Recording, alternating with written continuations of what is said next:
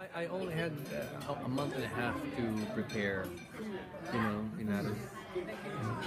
Uh, I read yung, uh, as I mentioned earlier, I read yung um, biography of Nick Joaquin written by his um, nephew, Tony Joaquin.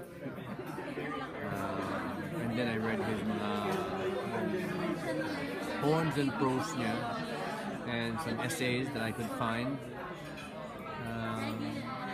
Basically, tinabi ko sa pagtulog ko yun, you know, yung, yung cover ng biography niya, si Nick Joaquin yun eh. Medyo black and white or sepia eh. Nakatayo yun dun sa aking bedside table. So pagtulog ko siya, nakikita ko pa na gusto ko mapaniginipin siya. Gusto ko talaga siya mapasok eh. Gusto ko pagising ko, siya lagi nakikita ko para, you know, pag tinitigan mo ng matagal ng isang bagay, let's say picture, parang you'll get insights eh. A lot of the work comes from yung cohesion cohesion ng mga na-research mo kasi mga ano lang yun eh data and facts lang yun now how do you put a soul into that di ba how, paano mo pagkatay-tayin yun and make a Frankenstein na hindi mukhang Frankenstein? Na mukhang totoo mukhang doppel mukhang clone. Parang ganun eh. Sa bawat work niya na binabasa ko I had to look between the lines.